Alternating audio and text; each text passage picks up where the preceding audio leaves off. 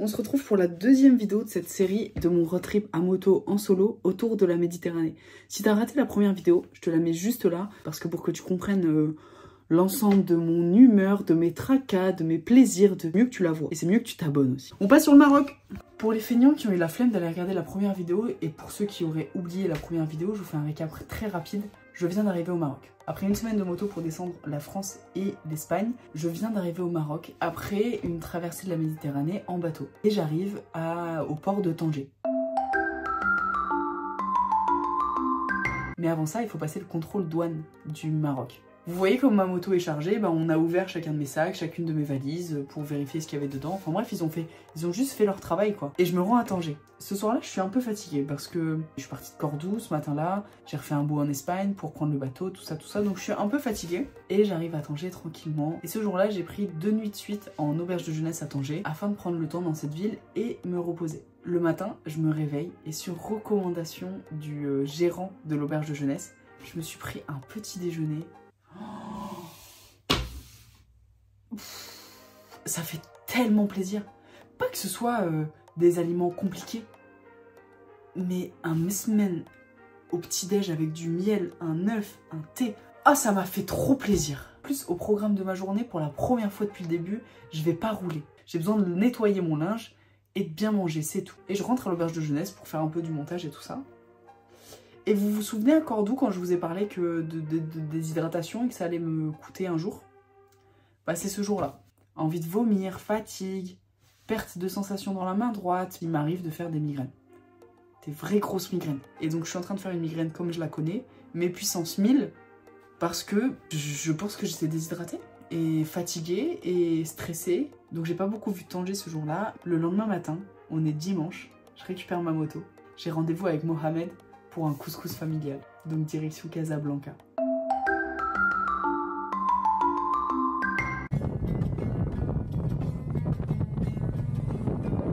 Et j'ai mangé le meilleur couscous de ma vie. Vous m'entendez? Le meilleur couscous de ma vie. Je passe la nuit à Casablanca et le lendemain matin, j'ai envie de découvrir les routes de Casablanca et je découvre majoritairement les embouteillages de Casablanca. Mais j'ai un objectif qui est la grande mosquée Hassan II. Et avant de prendre la route pour Marrakech, j'ai envie de découvrir cette mosquée.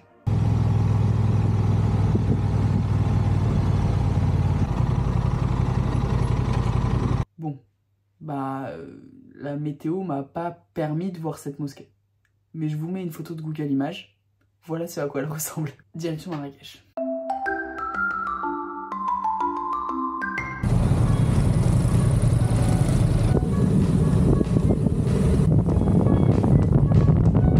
Marrakech. Marrakech, j'adore. En fait, j'ai fait un voyage à Marrakech il y a de ça...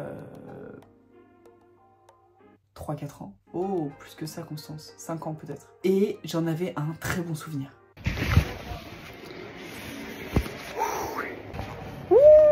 Marrakech, c'est compliqué. Marrakech, c'est... Il fait tellement chaud. Il y a tellement de monde. Il y a tellement de motos, de vélos, de chevaux, de chameaux. Et... En plus, il a fallu que je négocie pour le parking. On m'a un autre parking. Sauf que maintenant, ça y je commence à être rodé. On peut plus m'avoir comme ça. Tu vois. Je suis là, non, non, je veux le mec qui gère ce parking. Ah, non, ce mec. Après, on me fait payer le prix voiture. Je dis, hmm, je vois le prix bicyclette. Il c'est pour les bicyclettes. Je comprends bien qu'il est en train de faire son bis sur mon dos. Et qu'en même temps, c'est mon rôle de touriste. Ça va, 4 euros la nuit. Je sais que ma moto, elle est en sécurité. C'est quand même le principal. Elle est dans un parking, un peu à l'ombre. C'est très bien. C'est très bien à la place de 50 centimes, certes, 1 euro, à la place d'un euro. Waouh, je suis dans un état catastrophique.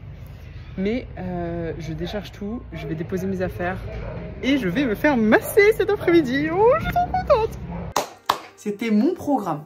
Garer la moto, poser mes affaires à la berge de jeunesse et aller me faire masser.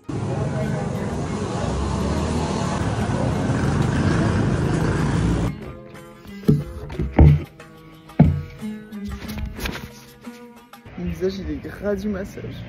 C'était trop bien. Je fais ça tous les jours de ma vie, matin, midi et soir, s'il vous plaît.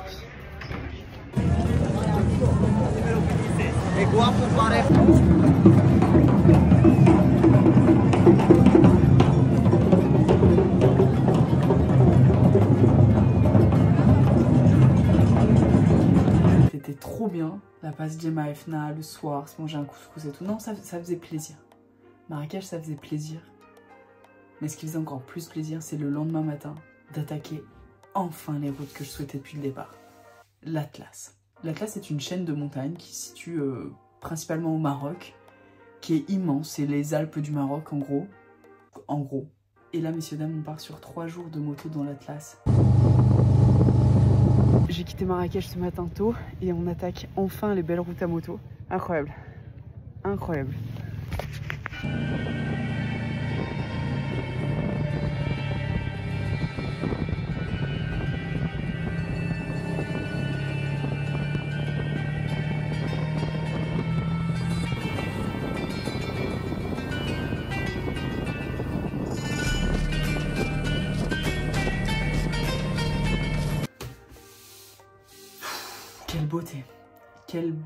Déjà la route Marrakech-Ouarzazate.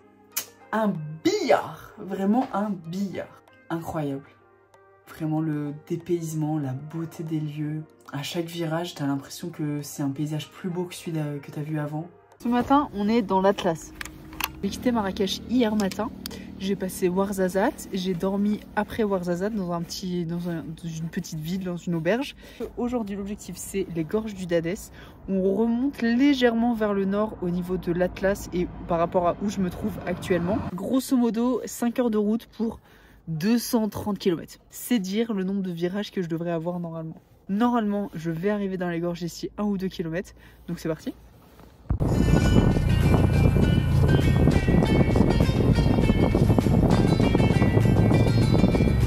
Je roule pas depuis très longtemps.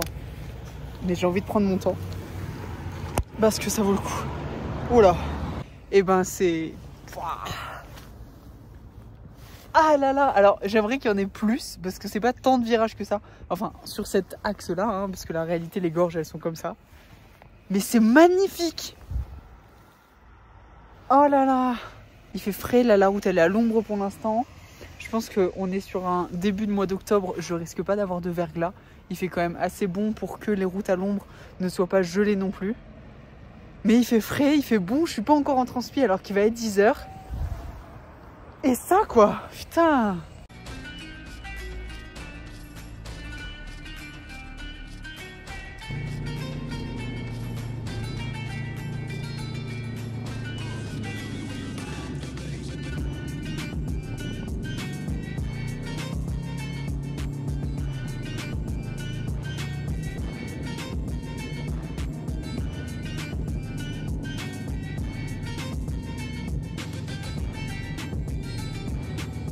Quelle beauté quoi Vraiment, je manque de vocabulaire, je crois, pour vous décrire à quel point l'Atlas, je me suis pris une clacasse.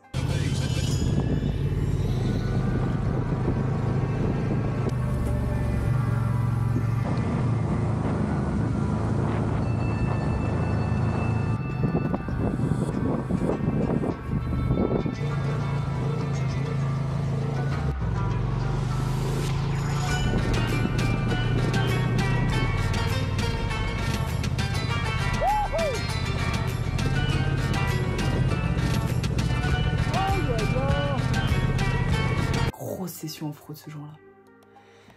C'était chouette. J'avais pas le niveau, mais c'était chouette. Mais j'ai été à mon rythme, donc c'était chouette. Fin de l'étape du jour, j'ai pas encore pris de douche, je me suis pas encore changée et ça se voit sur mon visage. J'ai trouvé une petite auberge au nord d'Imichil avec une vue pas dégueu, juste à côté d'un lac de montagne. Je suis à 2300 mètres d'altitude environ et ça fait du bien. L'eau, l'air, l'altitude, il fait frais. C'est un vrai bonheur.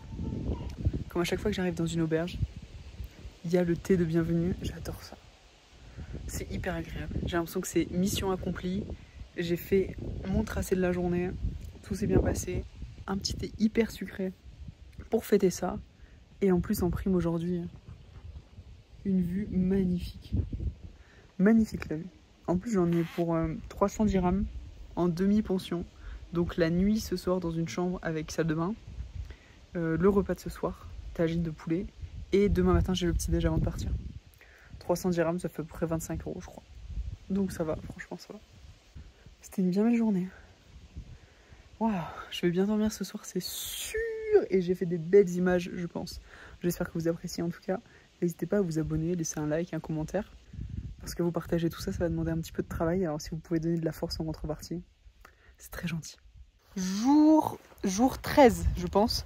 Je me suis réveillée ce matin devant le lac et j'ai repris la moto vers 8h30, euh, le temps de prendre le petit-déj, de discuter un peu, etc.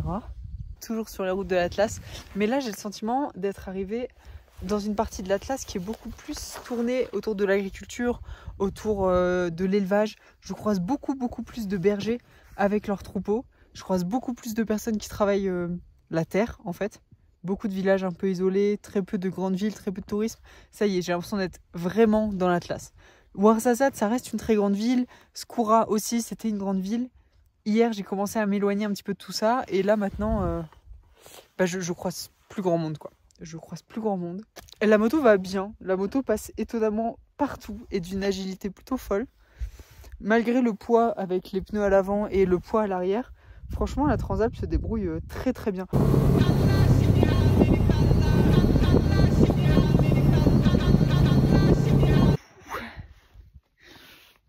Petite jambe euh, tremblante. Hein je viens de faire un tout droit. Là. Tout va bien, la moto n'est même pas tombée.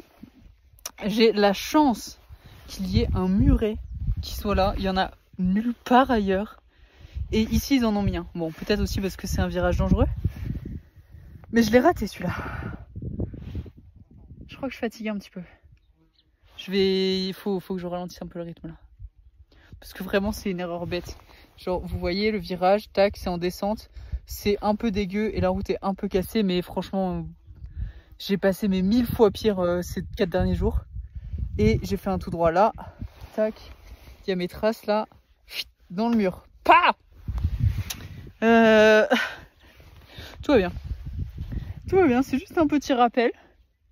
Juste un petit rappel.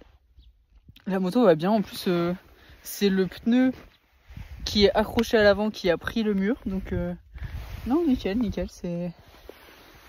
Voilà, c'est juste un petit rappel. Hein. Faites, euh, faites attention à vous, je fais attention à moi, tout ira bien.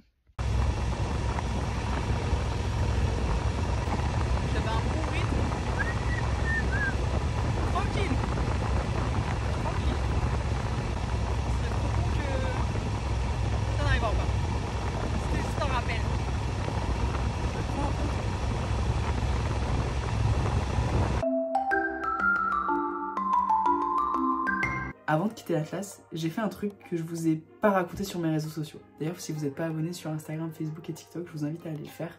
Et donc, si vous me suivez déjà, il y a un truc dont je vous ai pas parlé. Je me suis rendu dans les cascades d'Ouzoud. Je me trouve à Ouzoud, où il y a les cascades d'Ouzoud, qui apparemment valent le coup. Donc on va aller voir ça. La rue pour aller à la cascade est quand même extrêmement mignonne. Je suis un peu excitée, je suis un peu contente. C'est pas les chutes du Niagara, mais j'ai hâte. What? J'ai l'impression d'être dans Black Panther. Attendez, je vous fais un plan grand angle.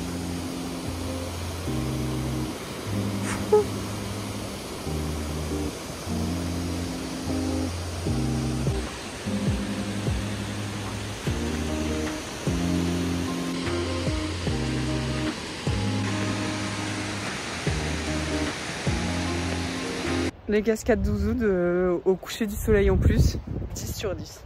je vais tranquillement enchaîner avec une petite balade par ici. Parce que déjà la vue est belle. Et en plus, je passe ma journée assise sur une moto. Bon, des fois je suis debout, je me bouge quand même et tout ça. Je sens bien que je me dépense. Mais pas de la bonne façon pour mon corps. Donc tous les soirs, j'essaye de faire une petite balade. Et là, c'est pas désagréable. Est-ce que je sais où je vais? Bien sûr que non. Ce serait beaucoup moins drôle. Non, là, c'est bien, là. Ça, c'est sympa, ça. C'est ça qu'on veut. C'est pas grave, hein, si je me perds. J'entends le bruit des cascades, je saurais les retrouver. Pas sûr, hein. Tout va bien. Tout va bien.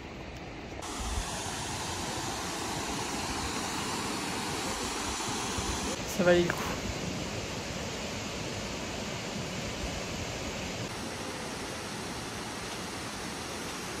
l'Atlas avec un petit pincement au cœur. pour me rendre doucement plus au nord du pays en prévision de mon ferry dans trois jours. Vendredi 6 octobre, il est tôt. Il n'y a que les coques qui chantent. J'ai envie de partir tôt parce que hier encore j'ai eu chaud. Et j'ai beaucoup de route aujourd'hui. Je quitte la classe pour me rendre à Fès. J'ai 7-8 heures de route aujourd'hui. Ce qui est beaucoup. Ce qui est beaucoup. Mais je me dis que là, c'est une grosse étape. Et ce week-end, je ne sors pas la moto. Je me repose, je gère mes mails, je gère tout ça parce que ça fait 3 jours que je suis dans la classe et 3 jours que j'ai une wifi pas top qui m'a pas permis de travailler comme je le voulais. Donc ce week-end, il faut que je me rattrape sur tout ça. C'est pour ça qu'aujourd'hui, grosse étape. Je commence dans le frais, je commence tôt. Vers 14-15 heures, je devrais arriver à Fès. Et après, tout le week-end, je travaille, je me repose, prends soin de moi, je découvre la ville. Ça va être chouette. Mais avant, je charge la moto.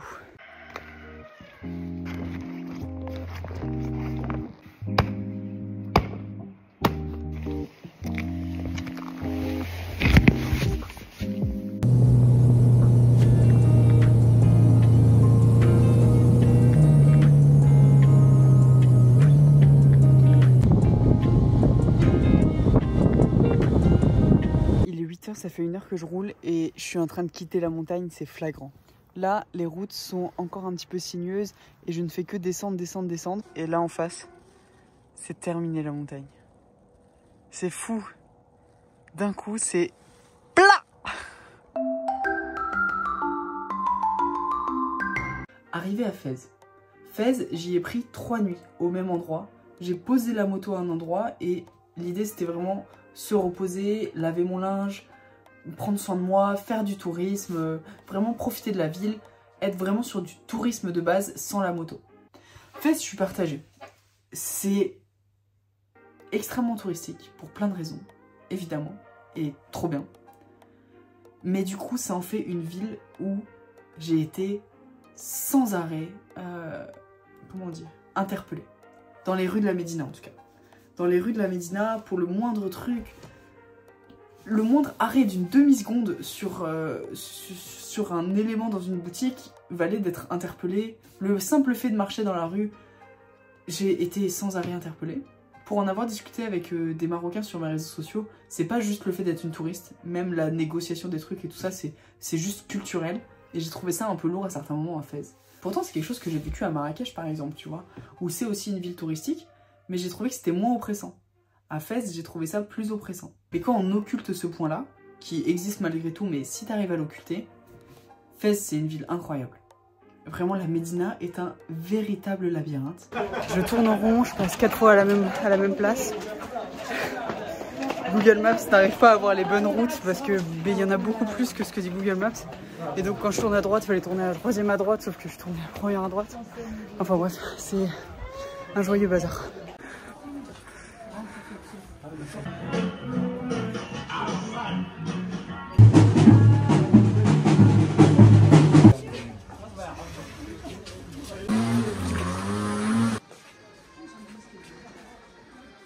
Et j'ai pu aussi me rendre dans les tanneries de la ville. La menthe, c'est pour sentir parce qu'apparemment, l'odeur des, des tanneries est un peu dure à supporter. la menthe, c'est mieux. J'arrive pas à définir ce que ça sent, mais effectivement, ça sent pas hyper bon. Mais c'est pas super fort. Avoir la menthe, c'est cool quand même.